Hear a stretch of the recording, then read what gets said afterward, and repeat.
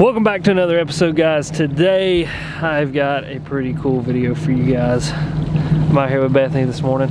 We're gonna go see what we can get done. It is a miserably cold morning. Um, this is one of those mornings when you probably should be under a blanket somewhere like watching TV or something, but it's a great day to be on the lake that we're on. Deep clear reservoir full of smallmouth. This is where I came with Ben last week. And like I said in last week's video, the shittier the day, the better it is to be out there. Well, today it is, is a crappy day, but it's setting up a lot like the other day with Ben. The only difference is it's not gonna rain. Um, we're right in the middle of a front right now. Tomorrow's gonna be bluebird skies, beautiful. We had a lot of rain yesterday and wind, um, but today it's just a lot of cloud cover. And I think there's supposed to be a little bit of rain this afternoon. So that's a good thing though. I mean, we can stay out here a little bit longer.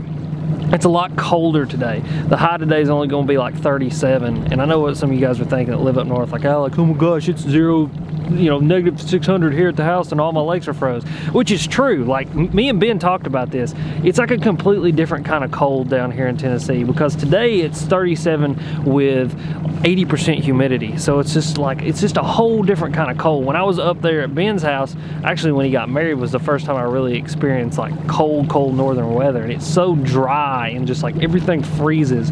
Or down here, everything's just damp and like miserably cold. So very interesting, but we're out here. I got on the AFTCO stuff today, outer down jacket. I'm telling you guys, if you don't have one of these things, go pick one up. It is, you see me wear it all the time. It's one of my favorite pieces of clothing. And then I cracked out the big Bass Pro Shop jacket on Bethany. This jacket is like, I call that my like cold, cold weather gear. I think you could go to the Arctic in that jacket and be all right. But yeah, that's what we're doing today. And hopefully you guys will enjoy today's episode. Ready?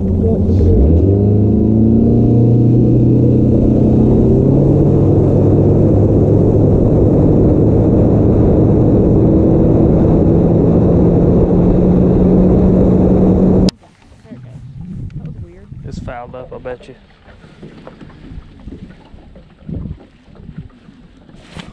There we go.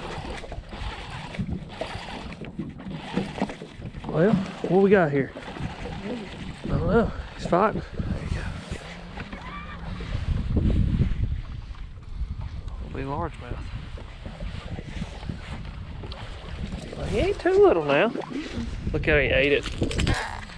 Ooh, that is like super, super good indicator right there about what's going on. Look how he ate that, guys. Back treble hook is all he got. That means that he come up right behind that thing and ate it. Yeah, they're moving slow, slow, slow to today. Hit spot like us right here, baby. Here, I'll get it. Yeah, it's the anchor. There you go. Yeah, he ain't a big one, but that fish just told me a ton that these fish are moving super, super slow today, where he just got that back treble hook. So, yeah, it is. The temperature's dropped. I mean, the surface temperature has dropped what four degrees. And last time I was here I was getting 48 46 to 48 now it's 44 I mean so you know that, that surface temperature has dropped a whole ton so that means that these fish I mean this we're gonna have to slow way way down to get them to bite which it's not surprising but definitely a good uh, a good indicator of, of kind of what's going on and what we need to be looking for perfect crankbait speed stick with the Lew's Speed Spool LFS 6 to 1 gear ratio. and I've got some, a Tournament Pro. Oh, I'm a pro. And I've got, uh, I'm gonna go with some 12 pound. 10 pound 10 pound, guess. I had to fill the diameter there. And I'm throwing, uh, I don't know what I'm throwing. it's pro rock crawler That's pro rock crawler. Rock crawler. I'm, I'm, I'm frozen. I'm telling you, you keep practicing, you'll give G-Man a run for his money. Alright, let's turn around and go back the other direction. You know what? Let's go all the way up there.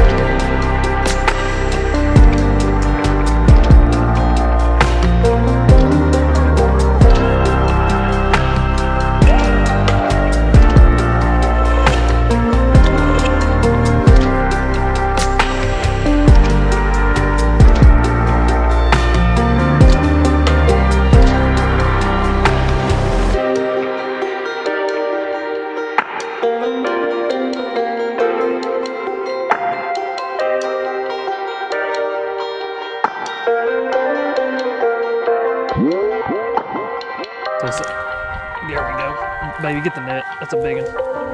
Oh my god. Yep, that's a big smallmouth. That is a really big smallmouth. Wow. Okay. Uh-uh. I don't know where you think you're going, buddy. That's like a. I, I'm serious. That's like a four pounder. Watch out for a second. Here he comes. Here he comes.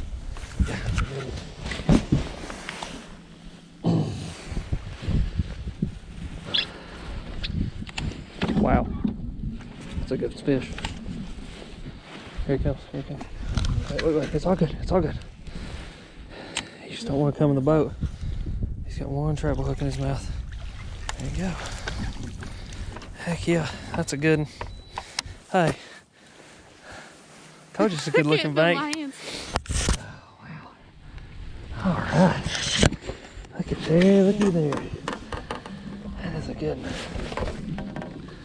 Oh yeah, he had that thing stuck a lot better than I thought he'd. I thought it was a lot better fish. He handed me the pair of pliers, the red ones. Yeah. Wow. He absolutely. I mean, he stopped that crankbait. Honestly, I thought I was hung up. That's probably a two pound fish. Wow. Lord of mercy, that fish scared the piss out of me. I mean, that thing goes into the stops. And I was like, oh my word. I tell you guys, one big thing that I did on that crankbait was I switched those hooks out. And all both of those fish I've had, I've just barely had them hooked, one hook in their mouth. Phew, that's a good one. All right. There you go, guys. Little fish. It's a good little fish. Here, bud. Me and Bethany have made our way further back into this pocket. And uh, the water is three degrees warmer in here. I'm getting 47.3 right here. And what it is, is there's a creek that runs in the back, but two, this is a lot more protected from the main lake. Um, that bank we were on, literally, the main lake, the the uh, channel swing, it swings straight into there. So it's bringing all that cold water off the main channel into that bank. And that can be a good thing and a bad thing. When you have those main channel banks like that, you know, it's just an easy place for those fish to position. They get everything brought to them. They don't have to do a lot of work. But at the same time, on days like today when that surface temperature drops really drastically, that'll be some of the coldest water in the pocket. So as we've moved further back into this pocket, this water started to warm up. And uh, as you guys just saw, I caught that smallmouth. So some of these fish, uh, they may not have moved out deep. They may have just moved a little bit further back into these pockets because that fish was behind that point.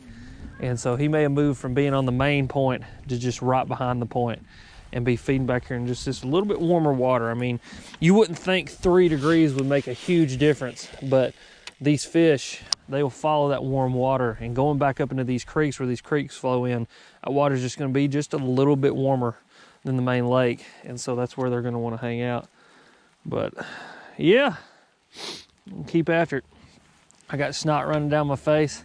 My hands are freezing. I can't feel this My toes pinky. I mean, that pinky, I I, I have my toes it's nothing. I think you could cut that thing off with a knife and I wouldn't feel it.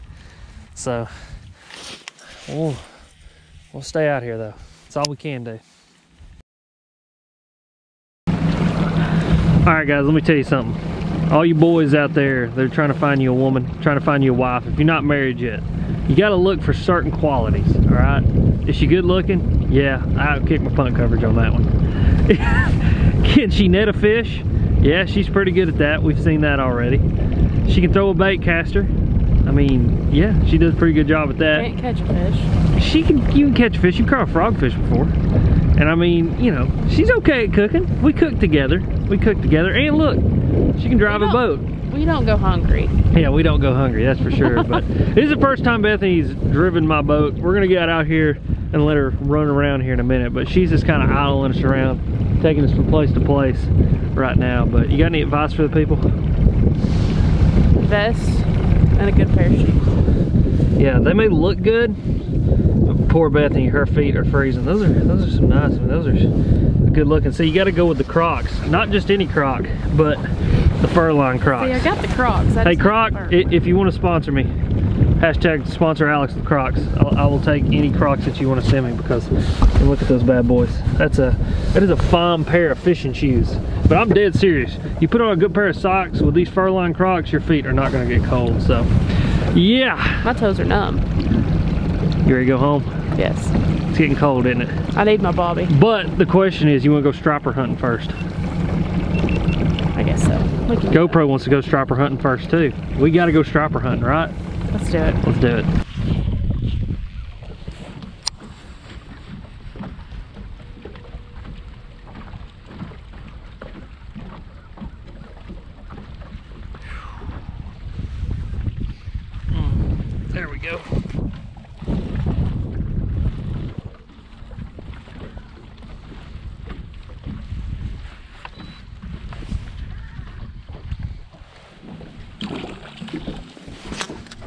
Largemouth. Ooh, he got a hold of it. Got you a mouthful, didn't you, bud?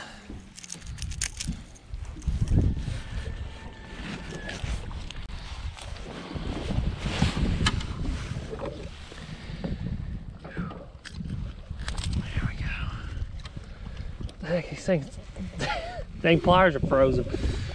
Uh, okay. There you go. Stop. Guys. There's another one. He's not happy. Okay, let's go. Bye. Lord of mercy. Be so cold and lethargic, man. They are, they are mad today.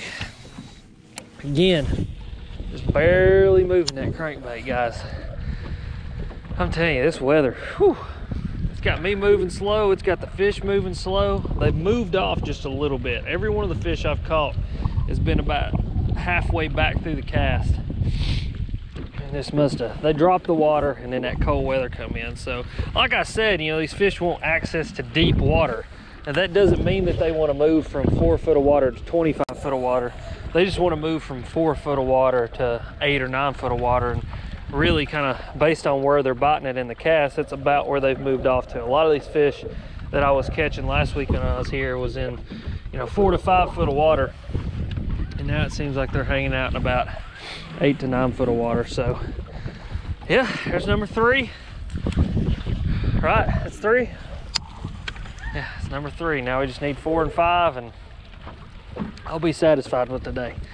And if we can't find four and five, we're going striper hunting.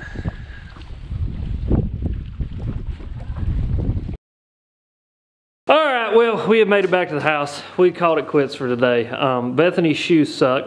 That's that's what she's got her Crocs on now. Crocs Power on. move on the Crocs. Um, but we made it back to the house. We went striper hunting for about the last 20 minutes of the day, and you know, I don't know. They just never did come back up. They never started feeding. And honestly, guys, when that's about the only time that I can catch them because I don't got like gear to go out there and troll around or anything like that. I just catch them when they come up and start busting up on top. I'm not a striper guy, so I just when I have a chance to catch them, I catch them. But I thought I'd talk about what I was throwing, what I was throwing it on to catch the fish that I did today. Uh, caught all my fish on this little Megabass crankbait. It's a new crankbait I picked up. So far, I have been digging it. It's a, it's got a really tight action. It's got a weight transfer system in it, um, so it means you can cast a mile, but it's still got that kind of smaller profile that I like to throw. And then I really like that crawl pattern with that methylate and that kind of transparency. It's just a really cool crankbait. Only thing I did to that crankbait was upgrade those hooks to owner hyper wires. The hooks that came on it were absolute trash. Like I bent them out with my finger. They were just so trash. So I put some owners on there.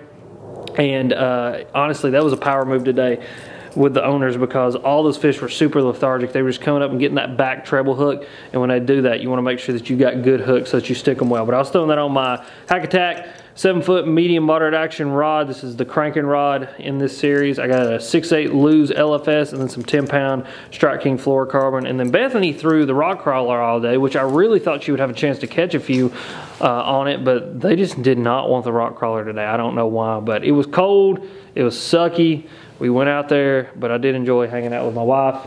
And now I'm going to hang out with my bubby here because that's really where I, I wanted to do. I wanted to come home and sit on the couch with my dog, watch some fish and eat some chili and just hang out. But as always, guys, thank you for watching. Questions or comments, you know where to go leave them. If you want to check out all the stuff, you go hit that description. And as always, you guys are Sweet.